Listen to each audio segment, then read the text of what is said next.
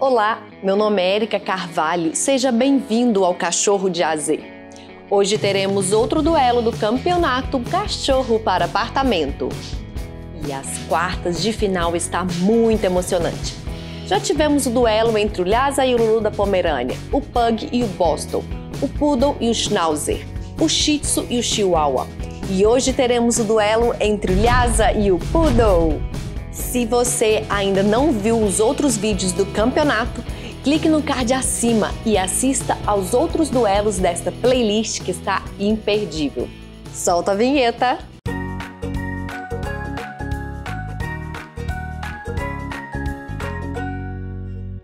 Neste campeonato, as raças serão avaliadas em sete critérios: latido, problema comportamental e de saúde, inteligência, sabe ficar sozinho, baixa energia, cuidados e preço. Vamos agora ao primeiro critério a ser avaliado. Oculatido. O nome Lhasa significa cão de sentinela que late, ou seja, estão sempre em alertas e para afastar o que chamam de perigo, latem demais. E o Poodle também é uma raça de latido intermediário. Nenhum ponto para essas duas raças. Menos problemas comportamental e de saúde. Todas as duas raças levam um ponto porque vivem bastante. E os problemas de saúde, quando aparecem, são bem mais leves se comparado a outras raças. O Lhasa é um cão muito saudável. Vive na média de 12 a 15 anos. O único cuidado que deve se ter com essa raça são doenças oftalmológicas, como catarata, conjuntivite e cegueira. Dermatite de pele é mais raro, mas é necessário secar bastante o pelo para evitar doenças de pele. O Lhasa também pode apresentar problemas de coprofagia, ato de comer as próprias fezes. Por isso, fique atento e assim que perceber sinais, leve a um veterinário, porque pode ser problema comportamental ou déficits na alimentação. O Poodle é uma raça bem saudável, tanto que vive bastante. Sua expectativa de vida é na média de 14 anos e muitos podem chegar até 18 anos. Os problemas de saúde que geralmente aparecem neles são catarata e cegueira hereditária. Alguns também podem apresentar alergias de pele e dermatite. Inteligência. De acordo com o um estudo de Stanley Coren, o Lhasa aparece como 68º lugar no ranking de inteligência canina. Por isso, no adestramento, ele é teimoso e disperso, é preciso um número maior de repetições para assimilar um comando. Já o Poodle é o segundo cachorro mais inteligente. Isso mesmo, ocupa o segundo lugar de uma lista com 79 raças de cachorros. Perde apenas para o Border Collie. Fica sozinho. O Poodle é uma raça que não deve ser deixada sozinha em casa por longo tempo. Caso contrário, o cachorro pode ficar triste, entediado e apresentar problemas inadequados. Se tiver que sair para trabalhar e deixar o poodle por longos períodos sozinhos, pense em ter dois cães, para um fazer companhia para o outro. O Lhasa tem uma personalidade mais calma. Adora deitar no colo, recebendo carinho e ficar na companhia do dono. Ponto para o Lhasa!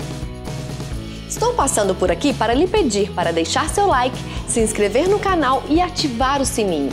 Isso é muito importante porque ajuda meu canal a continuar crescendo. Compartilhe este vídeo com aquele contato do WhatsApp que adora cachorros. Muito obrigado! Pode continuar assistindo ao vídeo. Energia baixa. O Poodle é cheio de energia e adora brincar. Se não gastar essa energia, ele pode ficar ansioso, estressado e se tornar destruidor.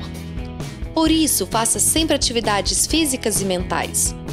Já o Lhasa é uma raça que tem baixa energia. Ponto para o Lhasa. Menos cuidados com a pelagem. A pelagem do Lhasa é bastante densa e exige muito cuidado. É comum molhar o pelo ao redor da boca quando bebe água. Por isso, a tosa é indicada.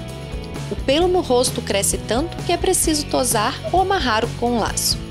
O poodle não solta pelo, mas tem a necessidade de uma tosa frequente, porque seu pelo cresce igual ao cabelo humano, diferente de outros cães que cresce até um determinado comprimento. Os banhos devem ser dados com mais frequência, no mínimo duas vezes ao mês para evitar mau cheiro. E os olhos devem ser bem limpos, porque eles podem lacrimejar. Ninguém leva ponto neste item. Preço: Sabemos que o preço varia muito, por isso irei falar de uma média. Encontra-se cachorros da raça Lhasa com uma média de preço de R$ 2.000 a R$ 4.500. Já o preço do Poodle pode variar de acordo com a versão. O Poodle Toy varia de R$ 2.000 a R$ 5.000 e o Poodle padrão varia de R$ 1.000 a R$ 3.000. Como estamos considerando o tamanho mais popular, iremos olhar o preço do Poodle padrão. Portanto, o Poodle é mais barato do que o Lhasa. Ponto para ele e após todo o somatório, temos um empate entre as duas raças. E como critério de desempate, iremos olhar três características ideais para apartamento: pouco latido, energia baixa e fica sozinho. Por isso, o ganhador do duelo de hoje é o Lhasa Apso! Gostou do nosso vídeo? Deixa seu like e continue assistindo, porque este campeonato já está quase na final. Vamos ver quem será o ganhador. Não perca! Muito obrigado, até o próximo vídeo.